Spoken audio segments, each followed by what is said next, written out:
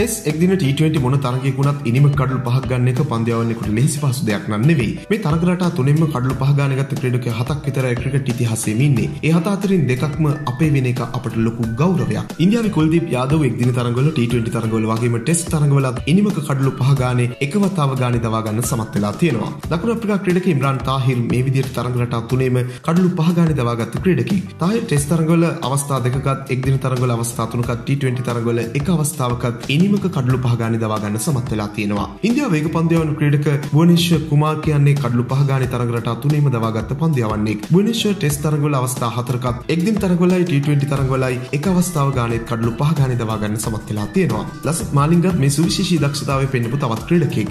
Malinga test තරගවල අවස්ථා තුනකත් ඒ වගේම එක්දින තරගවල අවස්ථා හතකත් T20 තරගවල එක අවස්ථාවකත් කඩලු පහගානි දවාගන්න සමත් වෙලා තියෙනවා. මේ දක්ෂතාවය පෙන්වපු තවත් ක්‍රීඩකෙක් තමයි ටීම් සෞති. සෞති ටෙස්ට් තරගවල අවස්ථා අවස්ථා හතකත් එක්දින තරගවල අවස්ථා දෙකත් ට20 තරගවල එක් අවස්ථාවකත් මේ විදිහට කඩලු පහගානි දවාගන්න සමත් වෙලා තියෙනවා. පාකිස්ාන වේගපන්දු යවන ක්‍රඩක උමගුල් කියන්නෙත් මේ දක්ෂතාව පෙන්න්නපු ක්‍රඩකෙක් ගුල් ටෙස් තරගවල අවස්ථා හතරකත් එක්දින තරගවල අවස්ථා දෙකත් ට20 තරගවල අවස්ථා දෙකත් කඩලු පහගානි ගන්න සමත් වෙලා තියෙනවා. මේ දක්ෂතාවේ තරගලට තුනේම ගොඩක් සම්බරව පෙන්නුම් ක්‍රඩකෙක් තමයි අජන්ත වෙන්ඩිස් අජන්ත ටෙස් තරගවල අවස්ථා පහකත් ඒවගේම එක්දින තරගවල අවස්ථා තුනකත් ඒවගේම ට20 තරගවල අවස්ථා දෙකත් ඉනිමක කඩලු පහට වැඩි දවාගන්න සමත් වෙලා තියෙනවා. මේ විදිහට තමයි මේ වාර්තාව සටහන් වෙන්නේ. මෙවැනි වීඩියෝ දිනපතා බලන්න අපත් සමග එකතු වන්න ඔබ තාමත් අපේ channel එක subscribe කරලා නැත්නම් අපි දැම්ම subscribe කරන්න ක්‍රිකට් වලට කැමති ඔබේ යාළුවෙකුට බලන්න මේ වීඩියෝ එක share කරන්නත් අමතක කරන්න එපා. ක්‍රිකට් පිටියේ නැවුම් දෙස් අපිරි තවත් අලුත් වීඩියෝකින් හමු වෙනතුරු ක්‍රිකට් ලංකාවෙතින් ඔයාට සුබ දවසක්.